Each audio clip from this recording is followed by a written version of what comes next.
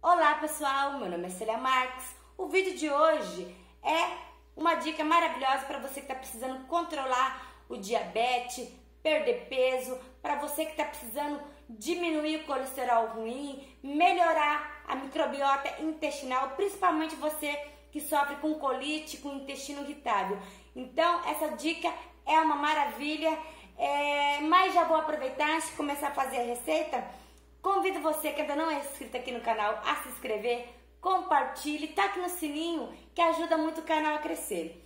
Gente, eu tô falando da batata Iacon.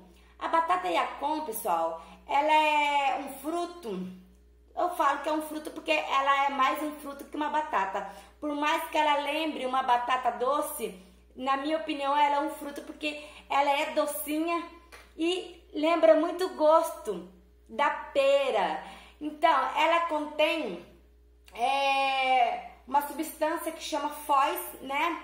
Que é a que esse fox na, na verdade é alunina, que são prebiótico, que serve para alimentar as bactérias boas do intestino. Com isso, melhora a imunidade, é, diminui o colesterol ruim, ajuda na perca de peso e também ela dá muita saciedade e ela é muito baixa em caloria.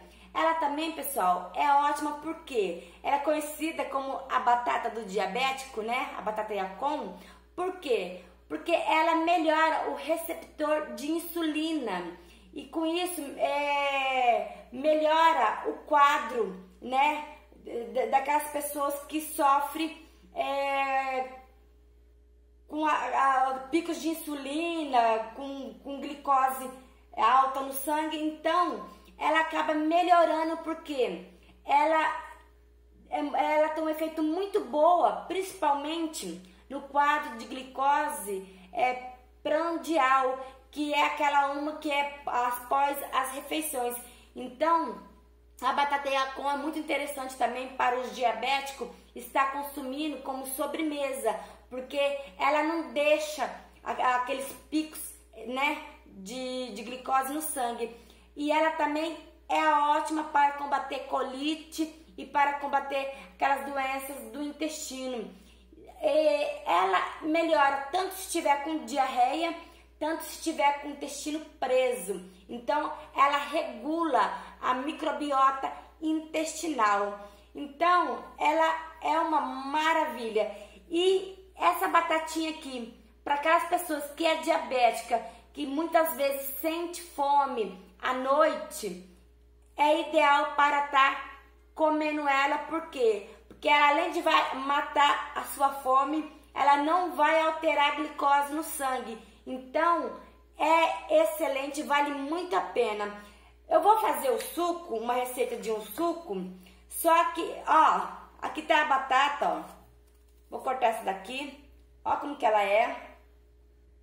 Você pode estar comendo ela crua mesmo. Não tem problema nenhum. Tira a casca. Ó. Ela é docinha. Além dela vai te dar saciedade, ela vai diminuir a sua... Ela vai matar a sua fome também. E ela é docinha e não vai aumentar o, a glicose no seu sangue. Então, se você é diabético, consumir, né, na... Como se, aquelas pessoas que gostam de atacar a geladeira à noite, é excelente. É, consumir à noitinha, né, naquele, no, no lanchinho da tarde, ou depois que jantou e dá aquela fome, aquelas pessoas geralmente gostam de comer, dê preferência a batata como ou então após as refeições. Comendo duas batatas e a com por dia é o suficiente para você manter os níveis né, de glicose controlado e melhorar os quadros de saúde. E é excelente também, pessoal, para criança, para aumentar a imunidade das crianças. Como que eu faço o suco se você não quiser estar tá comendo ela igual eu mostrei? Aqui tem meia batata com. Eu peguei uma grande. É muito bom, pessoal, vale a pena. E uma maçã pequena. 200 ml de água, eu vou bater. Isso aqui, pessoal, substitui o café da manhã tranquilo. Eu faço muito aqui em casa para o meu marido e para o meu filho. Não precisa adoçar, porque tanto a maçã é doce, tanto a batata é doce. E vale muito a pena você ou tá consumindo a batata ou tá tomando o suco. É, se gostou, compartilhe que ajuda muito o canal a crescer. Até mais!